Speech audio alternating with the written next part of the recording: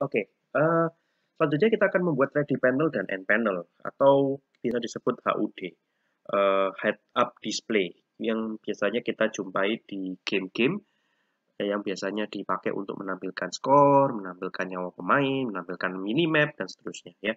Jadi keistimewaan dari panel atau head up display ini adalah uh, objeknya akan atau gambarnya panel ini akan melekat di kamera. Jadi Walaupun kameranya bergerak, dia akan selalu nongol di tempat yang sama, posisi yang sama. Jadi tidak terpengaruh dengan pergerakan di dunia, tidak terpengaruh fisik dan seterusnya ya. Dia nyantol di kameranya. Oke. Bagaimana caranya membuat uh, eh, HUD ini ya? Uh, caranya adalah menambahkan spread seperti biasanya. Di sini ada fix to kamera sama dengan true sehingga dia akan selalu ngikutin ke mana pun kameranya uh, bergerak. Oke. Nah, kita akan tambahkan yang ini ya, teman-teman. Ready panel yang saya punya adalah ini. Ada dua, ready yang awal sama end kalau sudah selesai gamenya. Oke, kita akan uh, pakai ini ya, ready panelnya.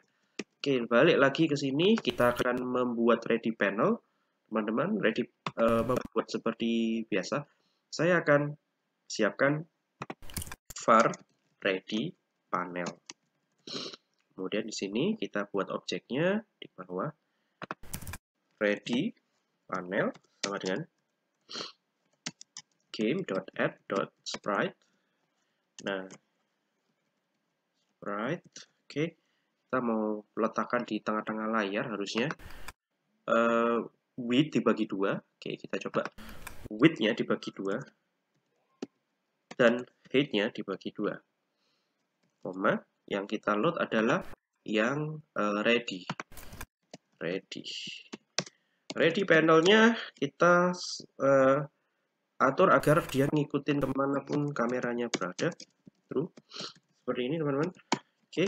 Mari kita coba testing dulu posisinya apakah sudah pas. Kita reload ya. Ya, uh, karena anchornya di 0,0 di ujung kiri atas, maka dia akan start dari sini. Untuk memperbaiki ini gampang sekali, Anda bisa rubah anchor-nya seperti ini. Kita jadikan di tengah, oke? Okay.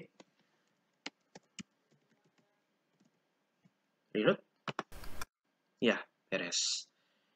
Nah, untuk uh, end panel kita akan bikin sekalian ya end panelnya ya panel akhirnya.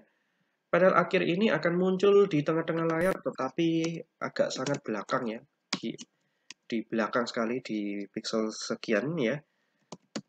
Tapi saya rasa programnya sama seperti yang ini karena kita mau pakai fix to kamera. Jadi tidak peduli XY-nya karena fix to kamera maka kita uh, tidak perlu mengeset terlalu jauh ya. Jadi di sini saya akan mengubah ini menjadi end panel ya.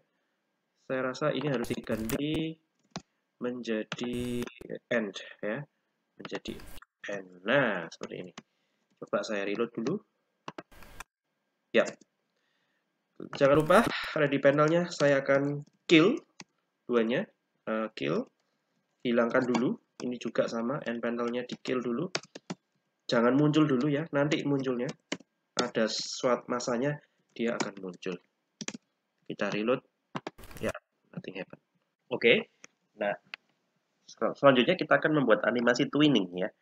Animasi twinning akan dipakai untuk menggerakkan kamera serta menggerakkan uh, Flappy Bird-nya di akhir permainan ya. Uh, kita menggunakan game.add.twin ya. Di dalam sini di dalam parameter ini objek apa yang mau di bikin animasi twinningnya. Oke, di sini sebagai contoh game.camera, objek kamera yang kita pakai, kita mau animasikan ya. Uh, kita bisa menambahkan dot delay, ini 1000 milisecond, untuk menambahkan delay di awal sebelum animasinya dijalankan. Kalau tidak, ya tidak masalah. Nah, kemudian dot to, di sini kita masukkan dua para, tiga parameter. Parameter pertama adalah uh, posisi yang dituju, ya dari posisi sekarang kita mau menuju posisi yang baru Jadi contoh nih kameranya nanti kita geser di tengah-tengah persis sekitar 4000-5000. Lalu kita akan lakukan twinning agar kameranya bergeser balik ke X sama dengan 0. Ya. Dan parameter berikutnya adalah berapa detik, berapa milisecond animasi twinningnya ini e, durasinya berjalan ya. Yang terakhir adalah phaser easing quadratic in out. Ini adalah jenis animasinya.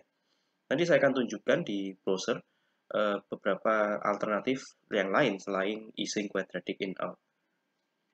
Dot start untuk menjalankan animasinya. Ya, kita akan uh, coba langsung aja. Di sini saya akan menambahkan uh, twin ya, var twin untuk si uh, kamera ya. Game dot add twin uh, game dot kamera. Kameranya yang mau saya animasikan saya kasih delay 1000 milisecond. To-nya uh, jangan lupa start. To-nya adalah tujuan akhirnya adalah x sama dengan 0 2 0 koordin uh, x ini adalah properti dari game.camera. Jadi game.camera.x maksudnya seperti itu. Ya, properti dari kamera mau saya rubah balikan ke 0. Parameter berikutnya adalah seberapa lama durasi twinningnya berjalan. Parameter selanjutnya adalah ini uh, jenis animasinya. Phaser easing quadratic in out. Phaser easing quadratic in out. Phaser easing quadratic in out start. Oke, simpan dulu. Nah, kemudian kita akan geser dulu kameranya ke tengah-tengah layar itu kita tambahkan di sini ya. Oh, jangan di tengah ya, tapi di ujung, paling ujung ya. Paling ujung uh, mana tadi ya? Uh, sebentar, saya cek dulu. Oke, ah ini dia. Ini kita geser kameranya di bukan di 1500 tapi di 8000 atau big way. Oke. Nah, setelah itu kita jalankan twinningnya. Mari kita lihat efeknya langsung, teman-teman saya reload. Nah, Anda lihat? Nah, seperti itu hasilnya. Jadi kameranya digeser dulu ke 8000 pixel, ujung kanan. Setelah itu, kita jalankan animasi uh, twinningnya.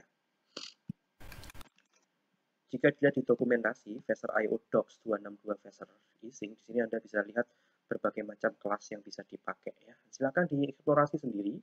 Ya, yang paling basic linear, yang yang kalau mau ada perlambatan percepatan Anda bisa pakai kuadratik ya. Ini dan seterusnya. Oke silakan dieksplorasi sendiri eh, masing-masing uh, kelas-kelas ini ya. Oke uh, sekarang kita masuk ke inti permainan utamanya ya. Jadi kita akan membuat algoritma permainannya. Pertama-tama kita perlu satu variabel untuk mengindikasikan game state ya mengecek kondisi gamenya apakah ready atau sudah berakhir end. Oke. Okay? Dan kita tambahkan pengecekan game state ini di bagian fungsi update. Ya, contoh kita cek tiga hal, apakah game state-nya ready, apakah panel alive-nya false, kan kita kill ya awalnya, dan apakah game kameranya sudah balik ke posisi 0. Jika iya, maka kita akan reload atau kita akan hidupkan ready panelnya. Oke, kita akan coba ini teman-teman ya. Oke, di bagian week ke-6 ini kita tambahkan variabel game state. Dan defaultnya adalah ready. Oke okay, game state-nya ready. Nah kapan kita munculkan dari panelnya? Jadi di sini anda cek jika game state-nya dan dan game.camera x sama dengan 0, balik ke 0. Ingat ya, kameranya awalnya di set 8000, tapi gara-gara twinning dia akan kembali ke 0. Dan dan uh, si ready panel dot is sorry is alive atau apa alive ya sebentar saya cek dulu